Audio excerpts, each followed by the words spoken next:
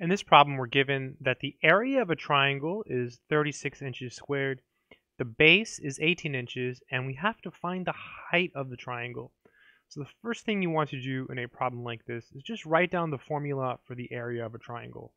So A, which is the area of a triangle, is equal to 1 half times the base times the height.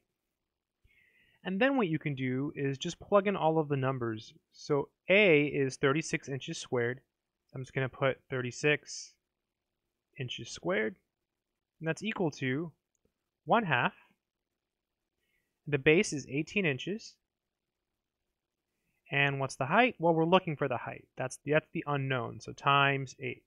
So again, just plug in the 36 for your area, plug in the 18 for your base, and then, oh, look at this. 2 goes into 18 nine times. So 36 inches squared is equal to 9 inches times our height.